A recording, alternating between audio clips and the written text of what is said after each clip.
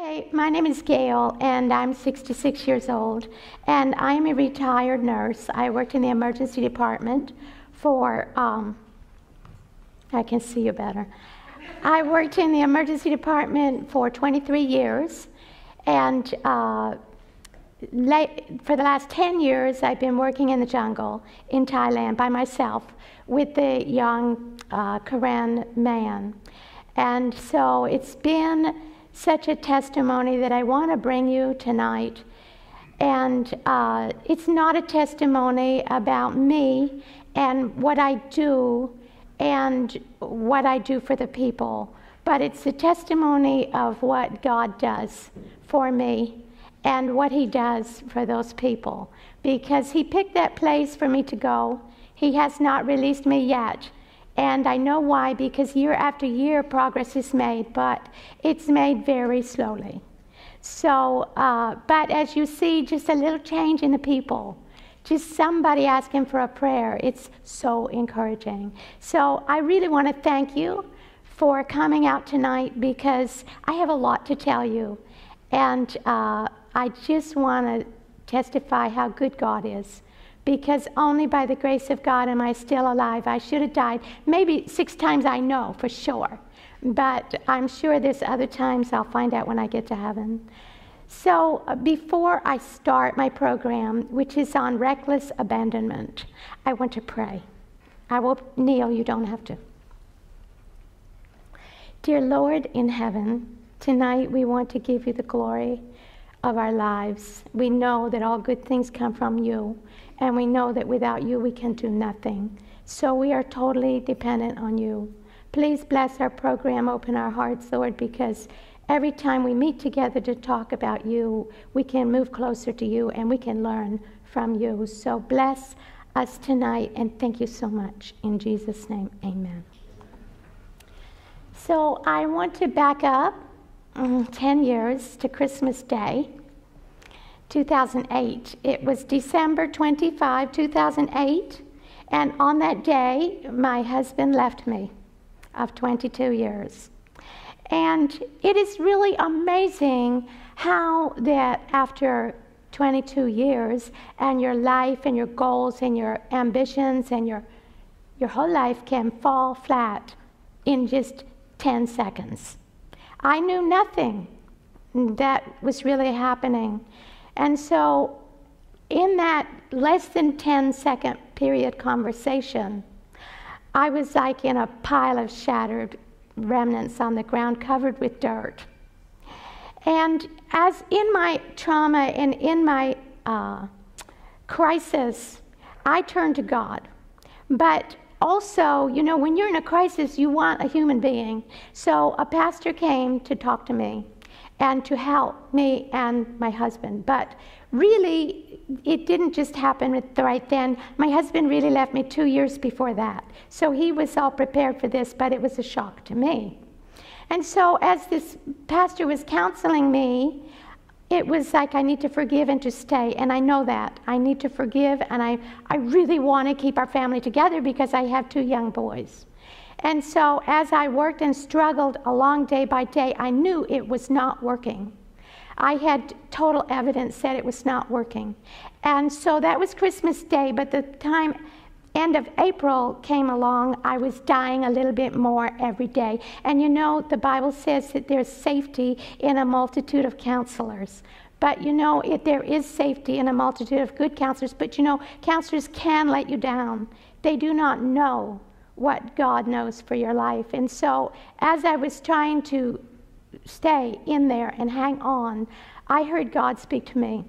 And one day, as I'm walking behind our farm, we had a big ranch in Montana.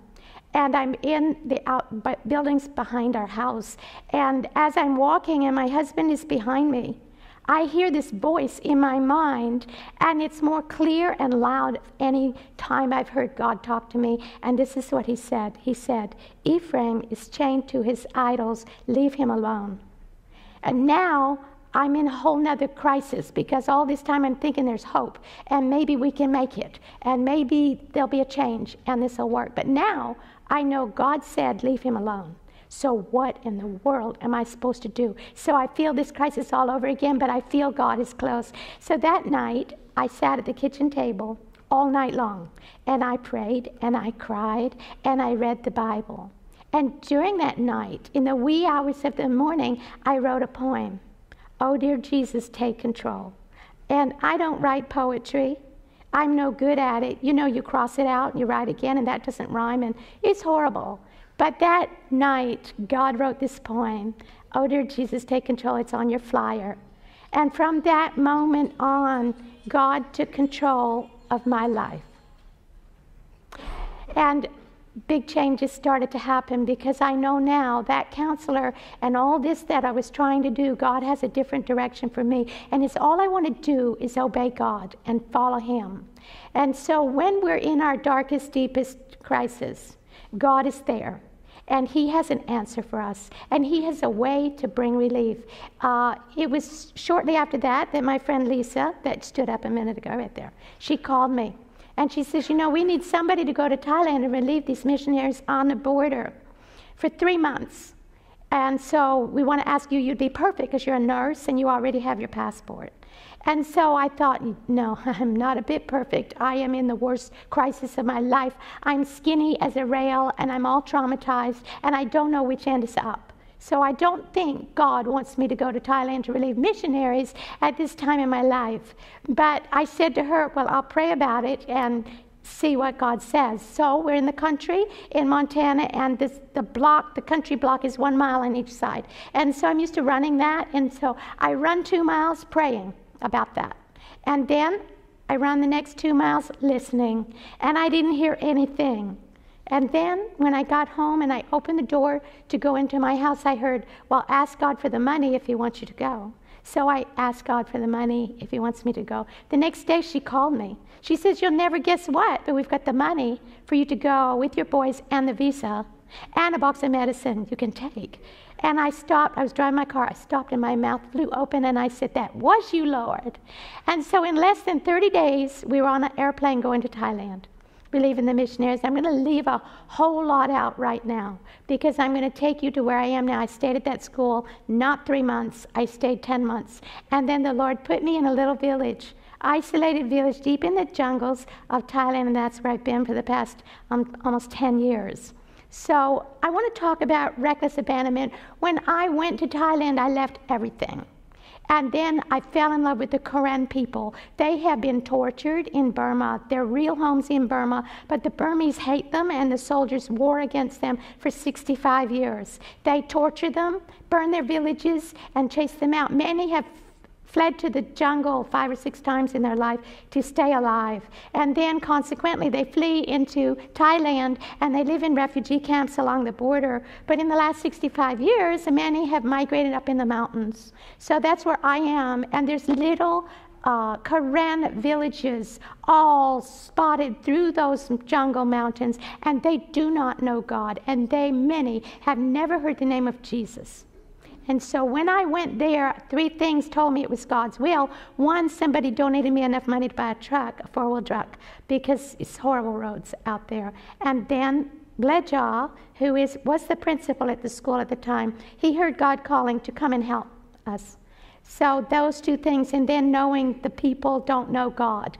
I know God wants me there. So, it has been a wonderful experience. And I want to stand here before you and tell you that, you know, God came to heal the brokenhearted and to bind up their wounds. He doesn't mean part ways so that you carry scars and you go around with a long face all the time. No, He finishes the work to heal the brokenhearted and bind up their wounds.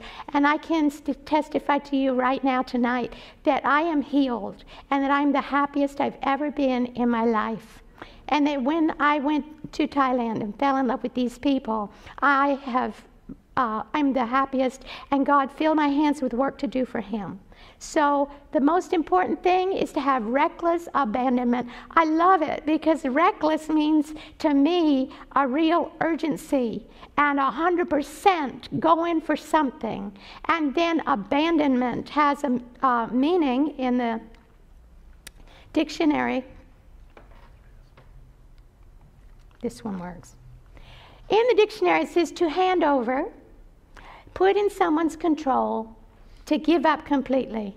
Is not that what God wants us to do? Hand over our lives, our homes, our hot water, our microwaves, our uh, American style of living, if it has to be, all our money, all our friends, all our family. Give it all to God. Why do we hold back? Because when we give it, He's going to let us have what's best for us, and He's going to put us where, where we can use our talents and our personality and our character and our life for Him. And we're going to be happy. If we hold on to it, we're going to be miserable. So I never looked back, and the things that I had in America, all of it, I never saw it again. And uh, Mrs. White says, only those who will become co workers with Christ, only those who will say, Lord, well, all I have and all I am is thine, will be acknowledged as sons and daughters of God. And later it says, only this way can he save us. I think it's really important. And so we need to take a really close look at our lives and say, Lord, really, in the bottom of my heart, all the way through, I want to give you everything. And uh, God will not disappoint you. When you do that, those that honor me, I will honor. And He can do great things for us. Our only hope of salvation is to give all to the Master. If the things of this world are cherished, however uncertain and unworthy they may be, they will become all absorbing. So here I am. I'm with the, the people in the jungle. They're living like they lived in Burma a hundred years ago. Some are very dirty, very poor. Some children have no parents uh, to take care of them. It just quit. Some people, some of the children have no food to eat and they don't have anybody to care for them. They do not take baths ever and they're very poor. Some, though, are a little better taken care of, but all of them are the most precious children. You cannot see them without falling in love with them and remembering them for life. All the people, young and poor, are uh, heavy on my heart. This is where I am, and John already told you I'm somewhere in these jungle mountains. He can find me on Google Map, and I cannot find myself there.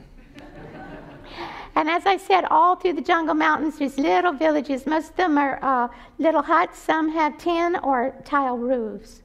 Uh, but each of these villages are full of people that are worshiping the devil and partly mixed with Buddhism and uh, they are very poor. Now, this is what the children look like when they first see me because I'm the only white person over there, and I'm very strange looking to them with white and white.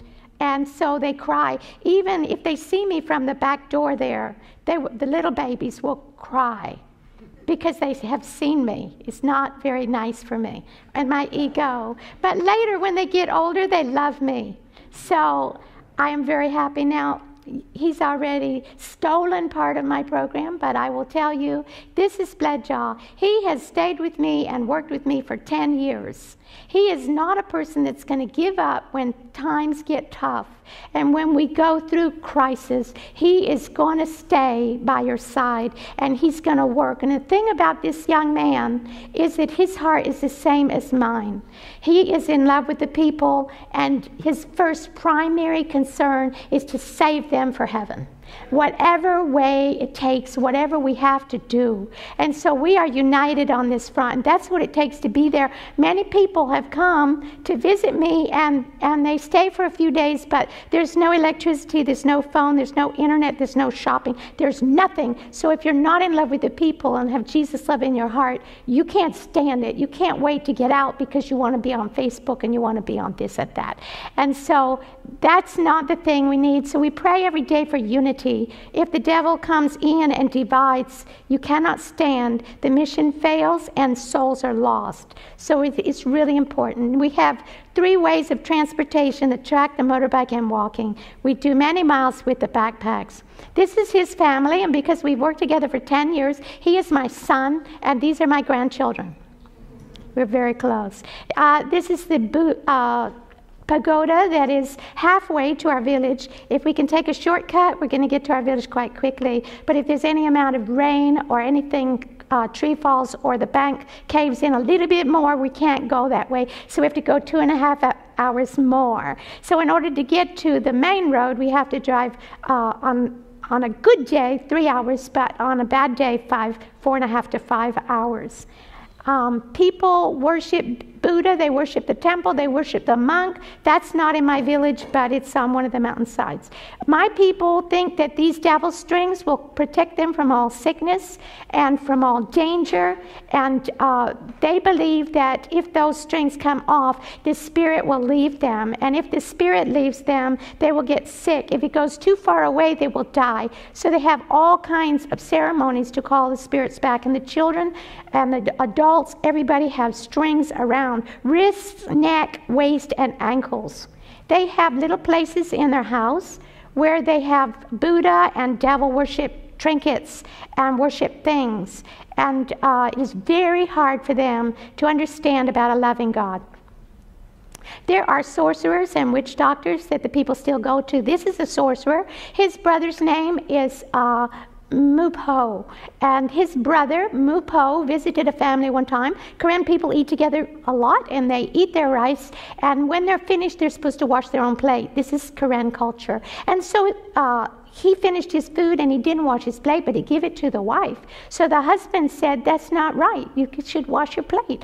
Then the next day he came back and he ate there again and he left food on his plate and he just shoved it over to the wife. And so the husband scolded him a little bit and said, You don't, don't do that. And so the sorcerer went over to him and flicked him three times over the liver. And that was a curse. Witch doctors try to heal you, sorcerers try to kill you, put curses on you. And then immediately that man started having pain in his liver. In uh, two months, he was in the hospital, and the doctor said liver cancer. But everybody knew he had the curse. In three months, he died. And before he died, he told his family, uh, After I die, cut my abdomen open. So after he died, they cut his abdomen open. Inside was thousands and thousands of fish eggs. And a lot of times with these sorcerers, if you cut the stomach open, they found a shoe, they find a rat or a rodent, anything they might find in the stomach. So that is the devil worship that's going on all around me. I'm learning more and more about their ceremonies and sacrifices and customs uh, every year. There's so much. Now, these people are so primitive that when I first went there, some of the older men, like that one, he said, Is it true that the white people still eat the Karen babies? And so some of them still think that. This is their cooking place. They cook in an open fire in the middle of the hut, bamboo hut, and of course it's all black and smoky and they're not healthy. They cook their rice and eat their rice every day. But this is the way they cook their food. We eat with them quite often. They eat most anything. This little girl, cute little girl, she sat opposite me in the clinic one day, and the usual Karen greeting, we say, Ame Wilia, and that means, Have you eaten yet? And so she says, Ah, really? Which means, Yes, I've eaten. And then the next thing that you kind of want to say, What did you eat? So, Na'amanule, I say, and what did you eat? She says, You. And you is the Karen name for rat. That pretty little girl had rat for breakfast. In fact, that's quite a normal thing for the people to eat. The little boys have rat traps made out of bamboo, and they catch many. Some are small, and many of them are the field rats that are this long. They're the kind that come in my house, that kind. So here they are. Sometimes uh, the little boys came to this one house and gave the lady 60 of these little rats, and she's roasting them over the fire. This is how they cook. Now, I want you, do you have sound on this? If you turn it up, uh, this is her roasting this rat.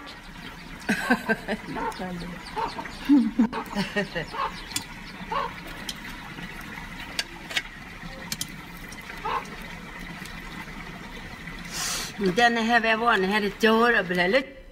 And they know that I'm vegetarian, so they will try to get me anything that's not meat. They don't really know. One time they gave me grubs because they didn't think grubs were meat. They eat dogs, they eat puppies, they eat certain spiders and snakes, toads and frogs. They eat just so many things that that move. So sometimes I'm sitting right beside the people eating the rats.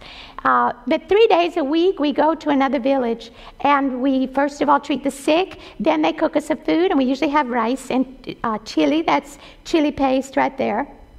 and uh, then some kind of gourd that was cooked yesterday that's covered with flies. And so we sit and we eat with our fingers, and uh, then after that we have a worship, which is the best the best part. This is our house that we moved into when we first went. It's a bamboo hut. We treated patients in the middle of the house, and the, it's a bamboo floor, and the babies don't have diapers, and the adults spit and, it, and push it through the cracks of the bamboo. So I, I'm thinking, oh Lord, if I could just have one little cement room, I could keep the floor clean. I could get Clorox and just keep that floor clean. Wouldn't that be nice, Lord? Just one little room. And we cook at night, we have to work by candlelight because we didn't have any electricity. We uh, actually cooked outside for quite a while. We had nothing. It took us 10 minutes to move in there. But the people came, and we didn't have any hard medicine or anything to give at first. But everything that we had, we gave our clothes, the food, what medicine, uh, anything they needed, we would give. And as we gave, God gave more to us. And you know, God wants us to ask for big things. He doesn't want us to ask for some small room that we can wash the floor for the clinic. He wants to give us big things. I want to tell you miracle after miracle. I don't have time because I have a lot to tell you, but this is what God gave us, and this is what we have now. And that building is cement. We hauled every bit of it in ourselves with the first truck we had. We ruined the truck, of course. And that building is 14 meters long. And you see the door on the on uh, the right, right there, that goes into our living area, our house, and the door on the left goes into the clinic, and then the storeroom, and then the bathrooms. And we don't know how to do blueprint, we don't know how to build, but the builder came and he uh, nailed up our handwritten blueprint on a post, and he built that. And we just had a straight roof, and he did something else to the roof. And uh, this is a drone showing our place, our village. That's Wasuta, actually, not our. Our house. That's the church in the very front.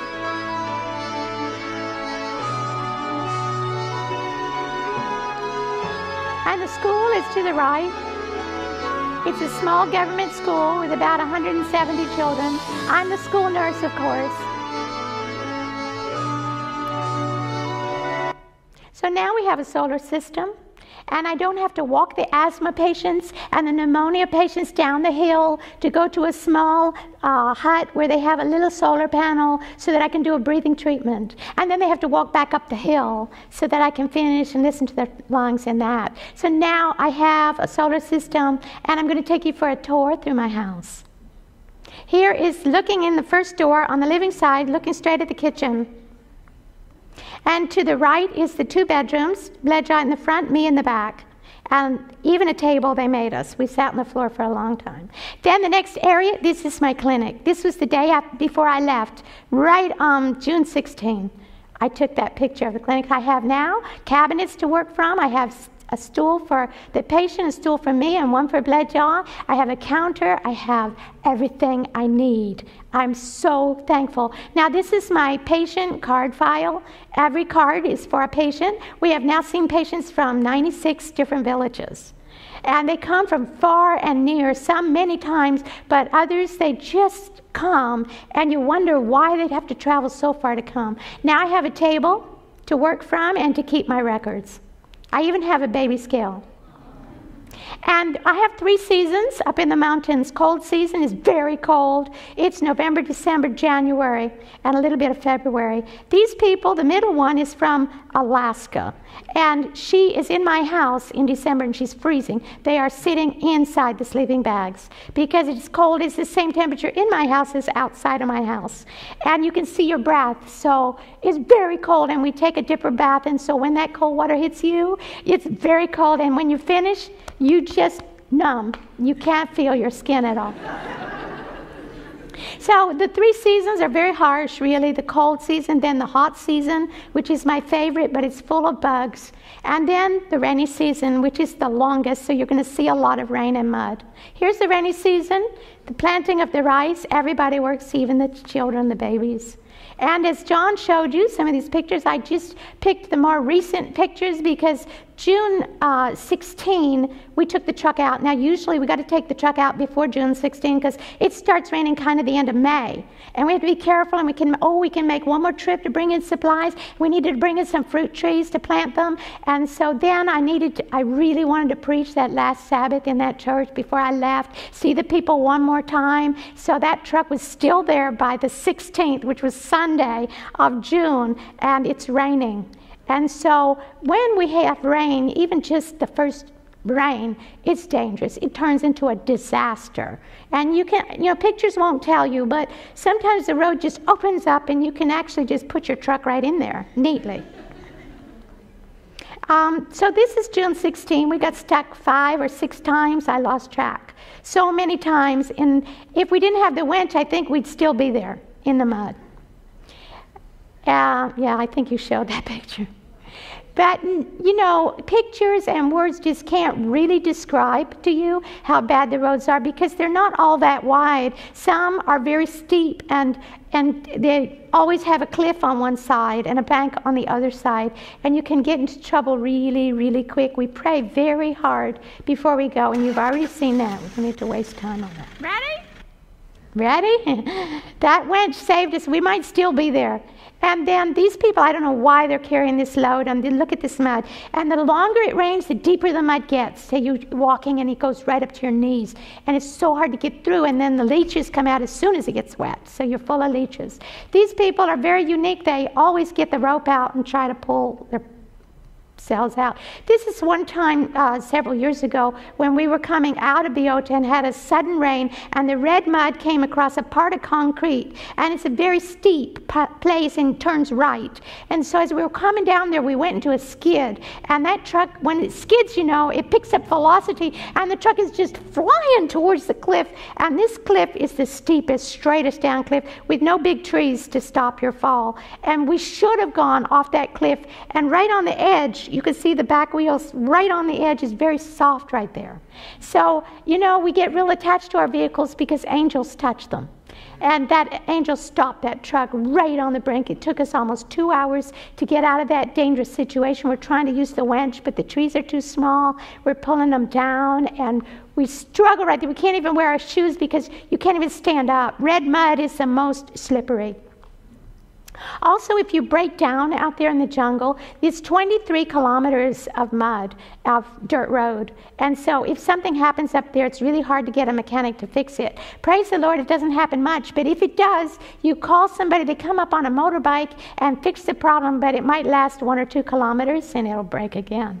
So, it's not fun. Here's our other way of transportation is the motorbike, like he said, and we're on this motorbike a lot. We probably a third of our time is spent traveling, and we'll go to another village three days a week. And we have the rainbow bag with our medicine and medical supplies, and then uh, we usually bring the picture roll. Pictures are worth thousands of words out there. The people really respond to the pictures, and even though they say they don't understand, we repeat simply all the time. It's harder to speak to ignorant people about God in a simple way than it is to talk to you guys because to make it simple is hard.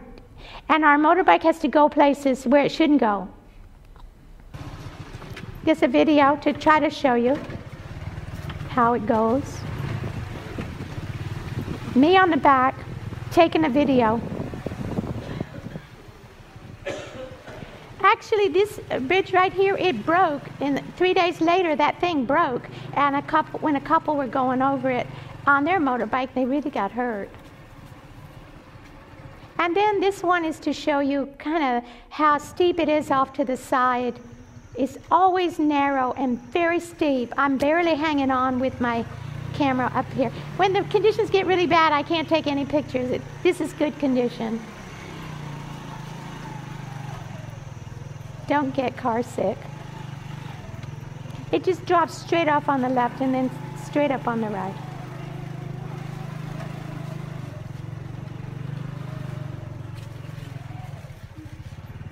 You got to have nerves of steel because he's driving and we just really take chances a lot of times and we usually make it. However, I have totally flipped off the back of that motorbike uh, three times, head over heels. Here's the chain. This really helps a lot. I'm like the the tail wagging the dog, sitting on the back of that bike. But on a good day, I'm just as sit home on the back of that bike as I am in the truck. And this is a, a picture Bledjaw sent me just yesterday.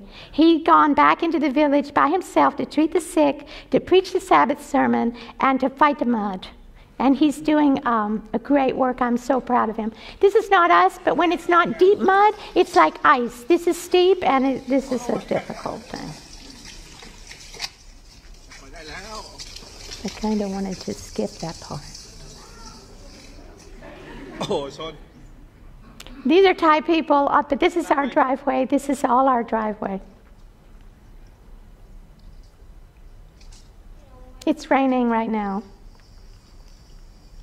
Rainy season, it rains constantly. You never see the sun, blue sky, stars, moon, nothing for four or five months.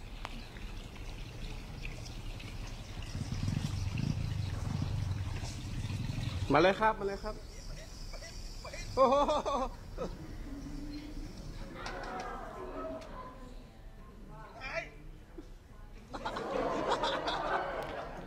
It's really steep.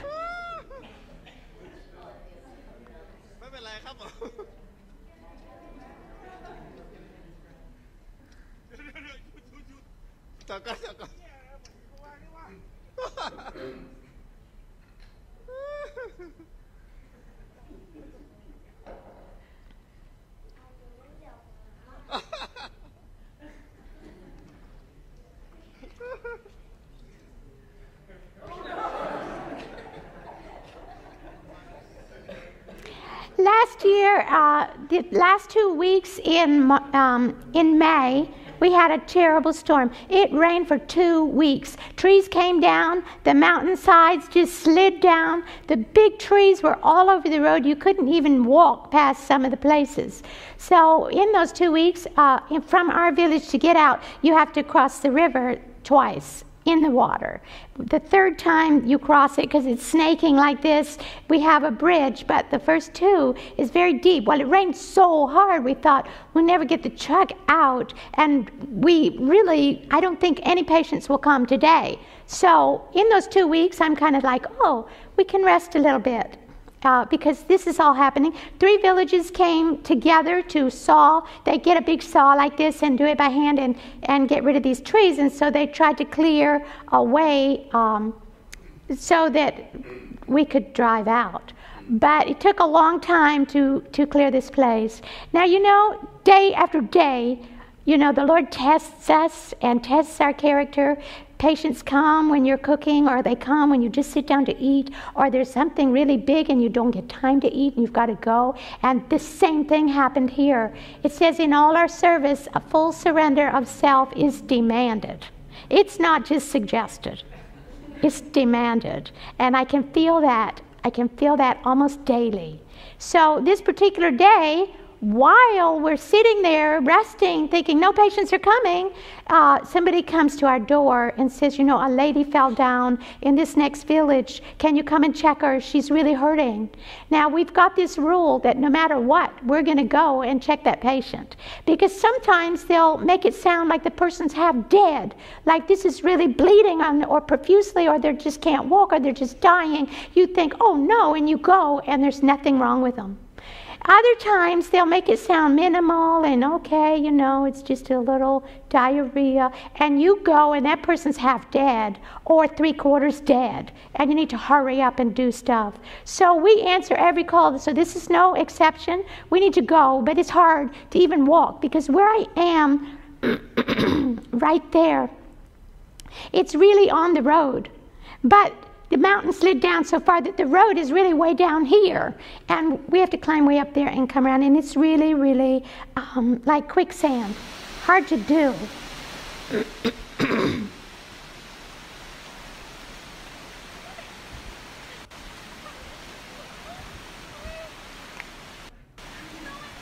I said, I'm going down.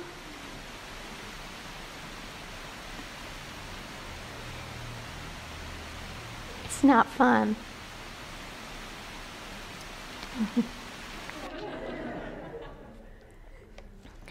And Bledjaw was taking the video, you know, and he said, Well, I'm sorry, I would have come and helped you, but I wanted to take this video. so now you get to see it too. And to get to that village took a long time because then we had to climb another mountain and go above the landslide to get past that one. So it took us a really long time to get to that village. But when we got there, I see this woman. Well, sorry. It's kind of slow, so I don't trust myself.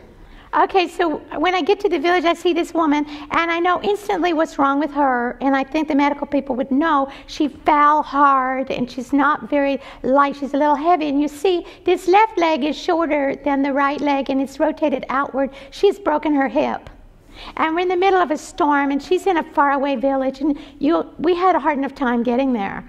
And so we're sitting together with all the villagers trying to decide what to do, how to get her because she needs to go to the hospital, and she's in a lot of pain. I feel really sorry for her. So then they finally say, Well, if we can get her to your village, will you take her to the hospital? And so we said, We'll do our best. And I'm thinking of that raging river. It is really high. We don't have a snorkel on our truck, and it looks like it could just roll the truck over.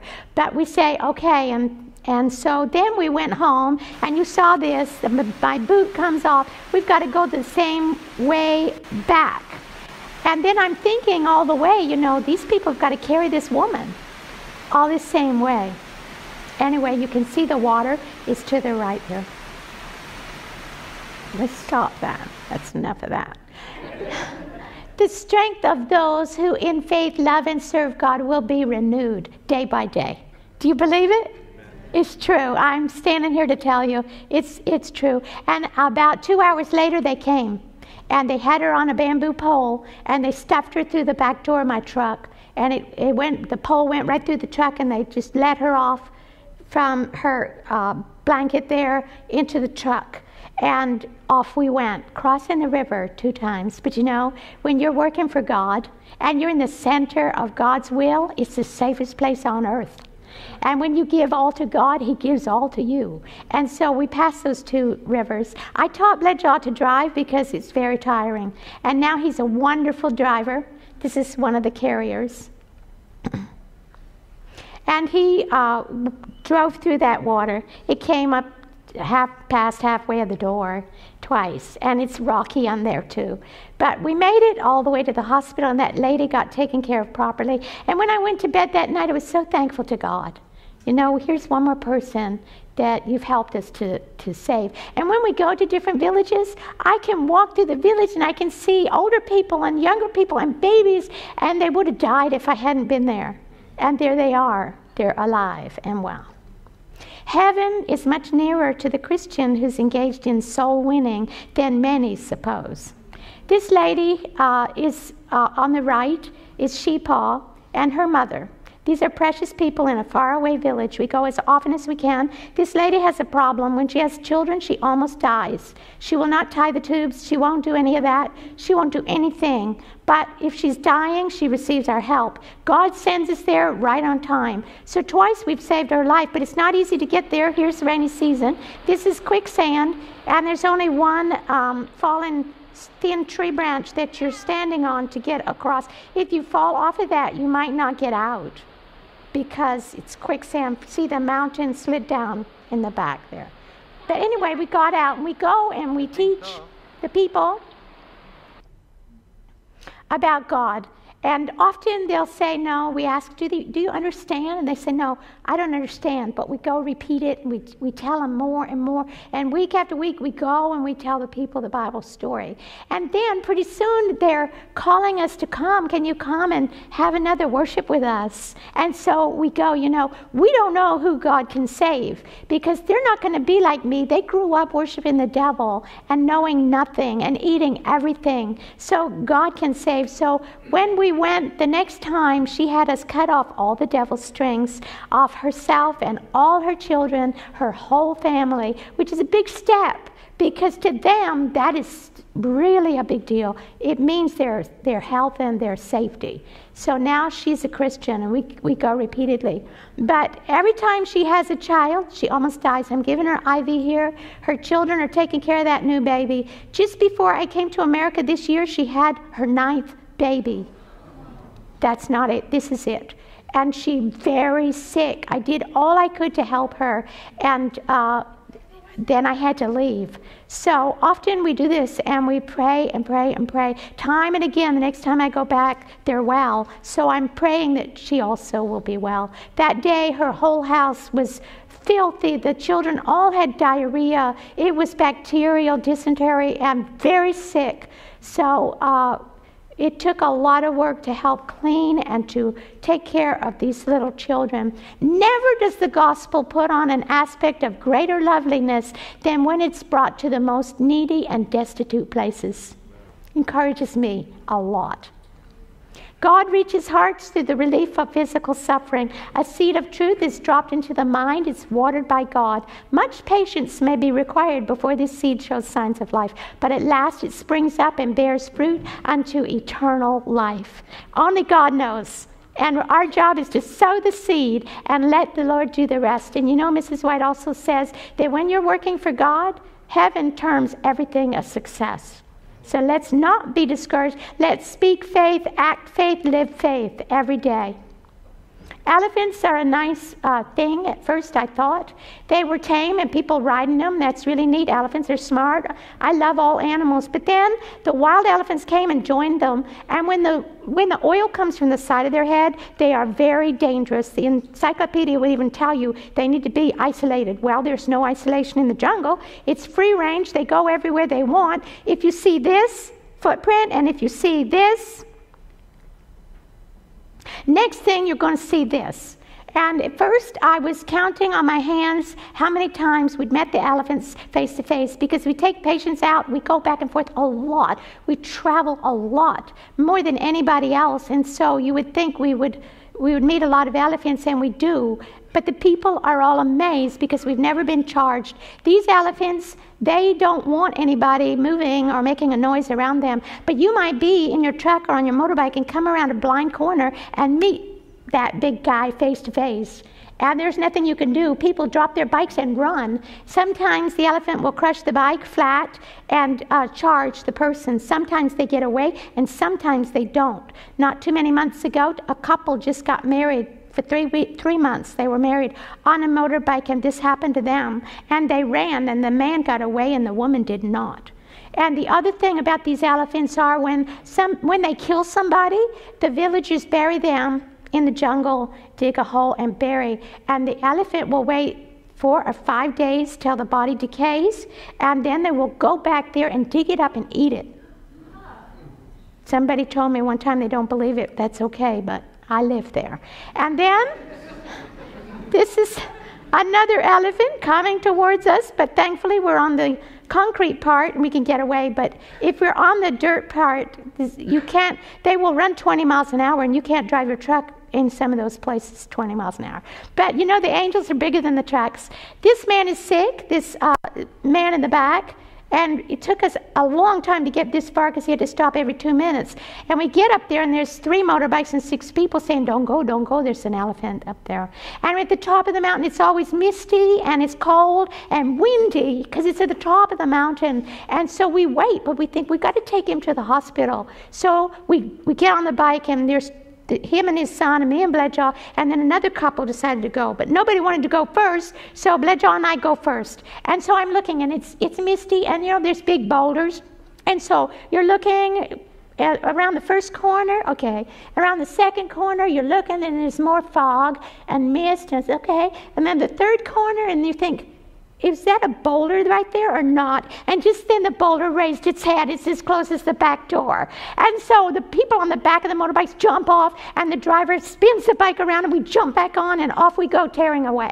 And the people are saying, Is it coming? Is it coming? We're first to meet it, and we're the last to leave it. And I'm looking, and it didn't come. And then we heard we went back here, we heard it to the left, another one, and another one. One time there were 18. So you just pray. Eventually, we got the man to the hospital. This is another time we met the elephant, and another time, and a little dust bath here in the corner. They're, they're just everywhere. They're really big. I didn't take this picture, but just to show you, they destroy trucks. Even the government truck's bigger than our truck. So nothing is safe when, when you get an angry elephant. These spiders can kill you. I've had them on me. God does not ask us to do in our own strength the work before us. He's provided divine assistance for all emergencies to which our human resources are unequal. That spider was on my back one time. I was taking a bath with the dipper. I think they like water. I'm taking a bath, you know, mm-mm. and then I feel something on my mid back, you know, the place where you can't reach. And I thought my hair fell down because it was pretty long. And uh, I looked in the mirror and it was that, that spider in the middle. It was later that Bledjaw told me, you know, those spiders kill you. They can kill you. So we don't have to be scared of anything, do we? This is my clinic, and the people will come. They come mainly for three reasons poor hygiene, poor nutrition, and not drinking enough water. They'll work on their rice gardens all day long and barely drink. They think a lot, but they have a coconut shell, they dip, they take two swallows, they throw the rest away, and they do that three or four times a day. That's a lot, but it is not. I have a urine dipstick with 100 sticks in it, and 80% have UTIs, have infections, and some people have kidney failure. So we really preach. This is my clinic. Sometimes a lot of people come in, and these people are very curious. This woman has a toothache, and everybody's coming in, and the guy in there in the waiting room is standing on the bench to look around the corner and see what's going on. And so we treat the people. Sometimes they come from far away. They hire a truck, and they come, and we say, How come? How come did you come all that way, two hours, and you passed two clinics, and you could have gone to that hospital? And they said, We heard that you get well when you come here. And we said, it's not us, it's God, because we pray for the patients. And uh, God works wonders and they get well. This group came and they said, you know, we, we just had to come here because we notice it really makes a difference when we get treated here. And one guy said, I don't know how come when I go to the doctor, he gives me paracetamol and I don't get well, and you give me paracetamol and I get well. I say, This is God. This is after church. There's usually a mob of people follow me to the clinic after church. Some have come not to go to church, but just to wait for me, and others in the church, they come. Now we have many respiratory problems because you know the people are cooking in the middle of their house with all that smoke, and then the cold season is very cold and they're staying huddled by the fire a lot, and then rainy season goes without speaking because it is 100% humidity. Humidity. We have wet clothes. We can't dry. We just wear them, and that way they dry a little better. But the babies consequently have terrible lungs. And I was an ER nurse for 23 years, and I never heard lungs like I hear out there.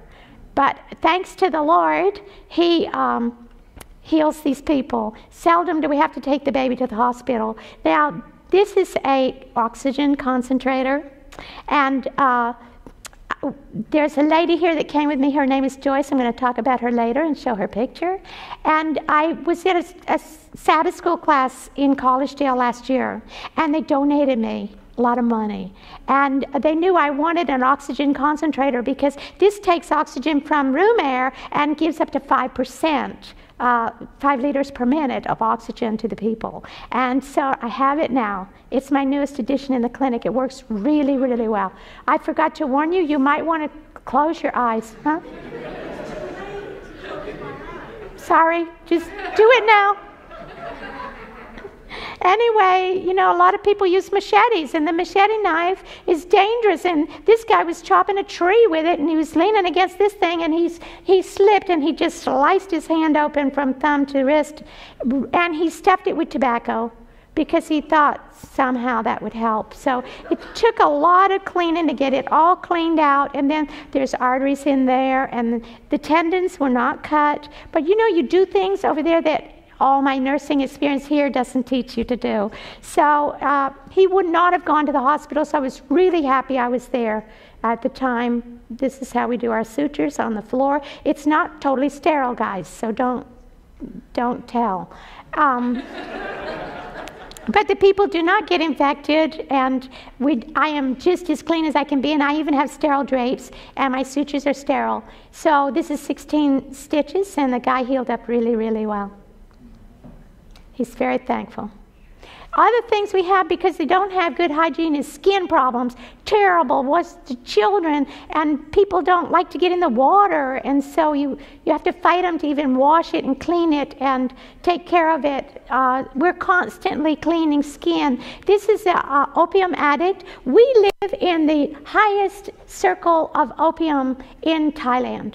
It is the, the, most opium where we are. And so we're really a detox unit also to help them get off to, uh, opium. This guy, we've seen him time and again. See how swollen and tight his arms and hands are. They have to stick the needle. He's he um, mainlines opium. He does it three times a day. So he's ruined all these veins. He's going down here. He's getting veins wherever he can find them. It's really sad.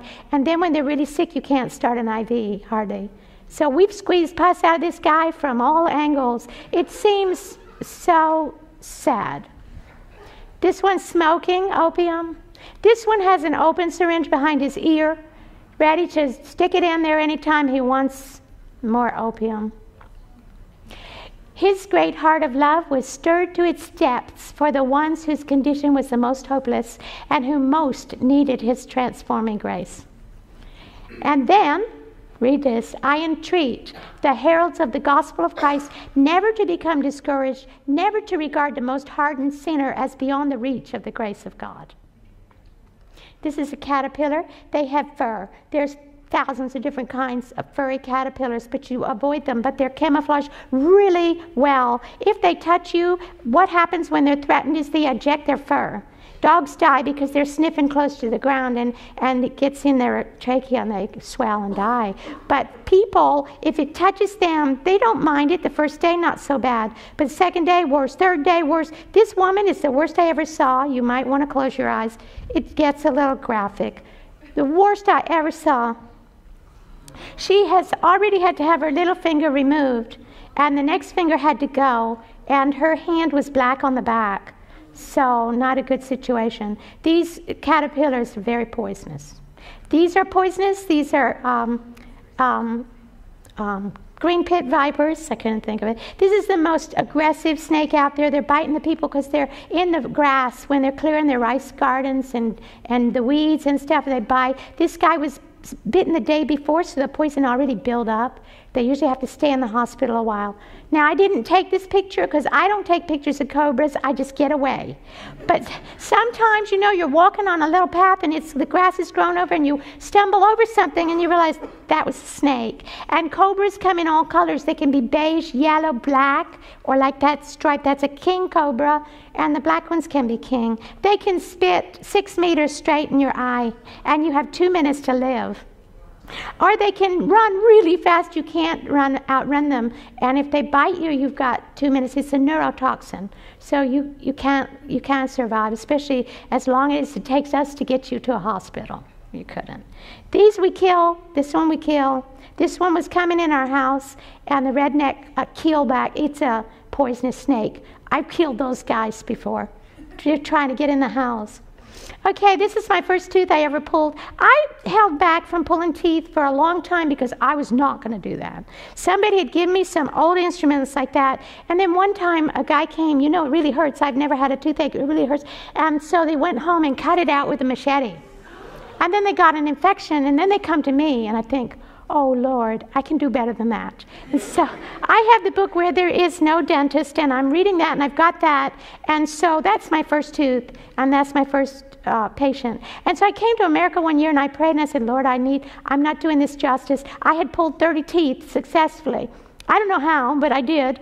And and then I'm praying, oh Lord. I came to America. I went to Faith Camp West, and this guy was there with his wife, Jack and Katie Hamilton. They're from Alaska. That was their first faith camp. And I was telling my story, and I'm, I had three presentations, and he's sitting in the front all the time. And this one time meeting, after I talked about that tooth, I'm walking out, and he falls in step with me and he says, I'm a dentist. I said, Oh, I'm sorry. I've got no business pulling teeth. I'm really sorry. I don't know what I'm doing. And so, so he's so nice and he took me to where he's staying and he brought a box of instruments out and I said, Oh, did you think you were going to pull teeth here? And he said, No, I was impressed that somebody might need them. And he answered all my questions and he gave me those instruments.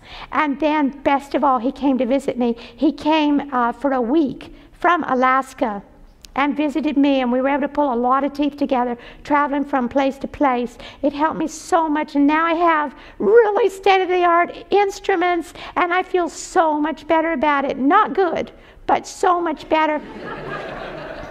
and then, didn't Jack Hamilton and his wife come back again? And uh, he gave me a, um, a cleaning, what do you call it? Machine to clean teeth. But the teeth are a disaster, but a lot of them, you can clean them and, and get good results. And uh, this is pulling teeth in the village. Then just recently, a dentist came with a group. I'll show you the group later. But this guy, Dr. Hold, helped me so much more to really get the tooth numb. He's got these techniques and different needles and uh, different information on the xylocaine. Oh, he helped me tremendously. We pulled tooth after tooth after tooth come rolling out. Then when he left, I get all these rotten teeth. So I want to tell you about this man. This man right here is 70 years old. His name is Blee. And Blee uh, told his cousin right here that he wanted to join the Seventh day Adventist Church. He's the head elder of the Baptist church of a distant village, but he wants to be a Seventh day Adventist because this guy, the Baptists come and they start a church and they leave some local to lead it and do it, and they barely can read. So this guy was leader of the Baptist church. He had just built this church behind him. And there he is. He had just built that church. And so uh, he's saying, I need to know more about the Seventh day Adventists. They're over there in Biota. And this man says, Yeah, he got baptized two years ago. But he said, I'll get you Gayle and Bledjaw because they can answer your question. I don't know. I'll get them. So we went and visited him. He has stopped, already stopped eating meat. He's read the Bible. He thought he would die soon. He's over 70, so he wants to keep the seventh day or he's not going to go to heaven. So he uh, recently stopped smoking. He tried it again and it tasted terrible. He smoked for 65 years. And uh, they start at three years old, you know. And now he's, uh, we can get him for church. Sometimes it's a long ways away. This is his younger daughter. The two daughters and the man will, will join our church. The wife is miserable. Look at her, not smiling. Her friends are Buddhist and Baptist, so pray for her. And so we preach. We keep preaching, and we, we keep um, telling them more and more deeper and deeper stuff the people that come to church. When we first went to church there, we had four or five people attending church. And uh, that was the first four or five years. Now we have 30 to 60 people coming to church. And in this last year, we have had more visitors come to see us, groups of people, than we, well, we never had. So this last year, full of visitors, I'm going to tell you about it. And that's uh, when church attendance is really good, we have that many people. As the disciples meditated upon God's pure, holy life, they felt that no, no toil would be too hard, no sacrifice too great. I wonder what happens to us. Do we feel that way? Those disciples were on fire for God. We can never, ever regret our self denying efforts, persevering labors, Jesus' patience, forbearance, and earnest heart yearning for souls that might have been lost if we neglected our duty or became weary in well doing. How much more precious is heaven to those who have been faithful in the work of saving souls, there's lost souls all around us. We can see them everywhere. So, Pastor Martin Kim came. In the last two years, we have had evangelism each December. December is when the people are free from working on their rice gardens. So it's a good month to have evangelism. Pastor Martin came for a year. We had a great attendance. I went the wrong way, sorry. And so, ev- hmm? He came for a week, you said year. Oh, he came for a week. Did I say a year? Yeah. I'm getting excited. You're holding the clock up and it's making me nervous. I'm almost finished, guys. So we had a wonderful attendance that uh, week that he spoke, and people were baptized. These four people were baptized when a group of Karen young people came. They're taking a seminary course, kind of a crude seminary course in Mae Sot. One of them is a uh, had been baptized last year from our village. He will come back and work with us. So four were baptized then. And I want to tell you, the next group that came was from Fountainview Academy. Do you know? Do you know them? 17 people from Fountainview Academy, a famous school, came to our village. More wanted to come, but uh, they needed to split between the school on the border and us. So they actually came and uh, they sang and they did programs. And the people came, there was over 100 people coming to our church to listen to them and to be blessed by their music. We went to a village with them and they sang song after song while we're treating patients. It was a wonderful experience. I want to um, just play one song that they sang. In my church, is it not beautiful?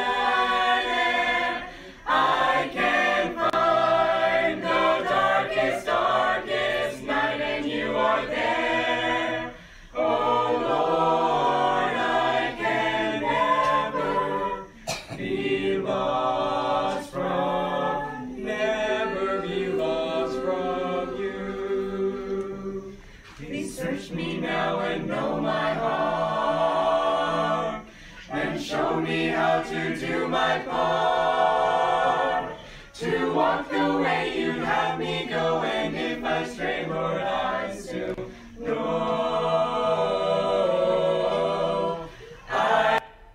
I just got to move on because time is short. This is Pastor Jimmy, and he is a Karen pastor from uh, the border there. He understands our people, has actually been in our village, but now he is over all the Karen people in America. And I was lucky to, to visit him, and he consented to come and do evangelism in our village. So I want to end on that evangelistic program, and I want to tell you I also was able to go to the Philippines three times this year and preach to the young people there thousands of them, and they're on fire for God. And while I was there, I found uh, a doctor and his team that will come and do evangelism this December. So, you know, God is doing great things. We can only just um, expect great things from him. And this pastor came also to help. We even had the media truck. I don't have time to explain it. But the media truck came and in my village with three cameras. They recorded the whole thing so we can share it to other villages and other people uh, throughout the, the jungle. It was well attended morning and night. And at the end of that evangelistic program, 16 people were baptized in the river. This is in December. And there they are. I will end on this video, and I just want to thank you so much for having me come. And I'm so blessed to see you and talk to you in my home mother tongue and uh, get acquainted with others that share my passion for souls. So here's the video.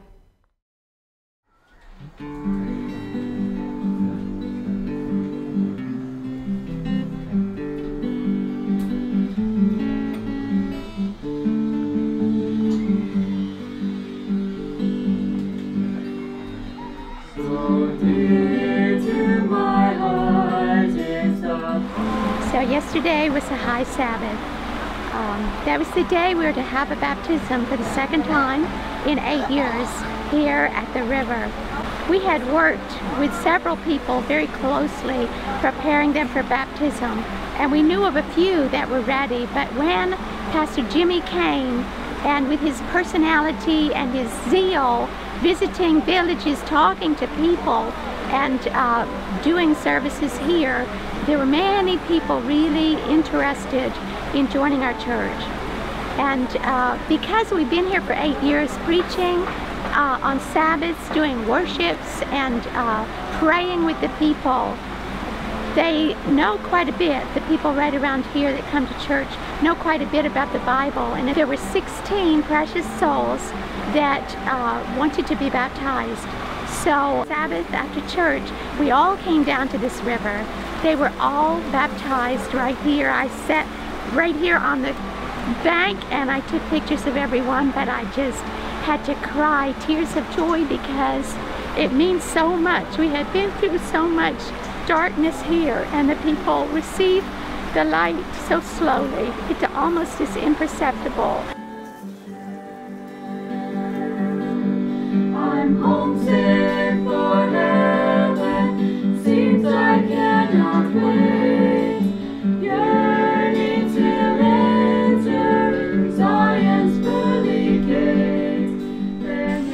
just want to encourage all of you just um, be part of God's work because it's so some experience you can't um, describe it. You got you just feel good inside. Nobody else can feel that because of you helping other people, even though not much, a little bit, but you just feel good inside. So I just want you to have that experience here and forever also. We have no idea the future, how much more uh, the Lord will do for us here in this place. It's it's overwhelming, and my heart is so full of joy. It's just running over all over the place.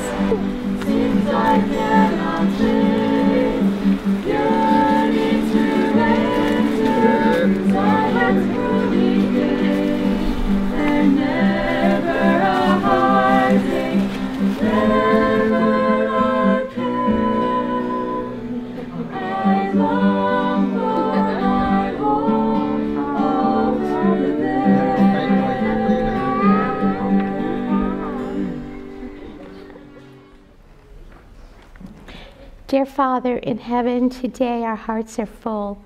We're just so full of gratitude to you for being able to use little weak, sinful people as ourselves. Even though, though we've had a past of sin and, and sorrow, you can change and heal and you can do all things, Lord. You can even use us to show your glory to the people around us. I pray a blessing on each person here tonight. I pray that in their life and in their families, in their neighborhoods and communities, that you will use them in great ways. I thank you for this church and the missionary mindedness that the people here have as this church is growing by leaps and bounds, Lord. Bless it. Your work is, is going to grow all over the world. There's so many places that haven't heard yet. Please help it to reach every corner of this world so you can come. There's so much sickness, sickness and suffering, but we see the power of God and we're so encouraged and we know that when we work for God, there's a lot more joy than sorrow and trials and sadness. So we give all to you tonight. And we know that when we honor you, you will honor us in ways that we don't even expect, like opening the windows of heaven and there's not enough room to receive it. You're a great God of love, and we love you too, Lord. In Jesus' name, amen.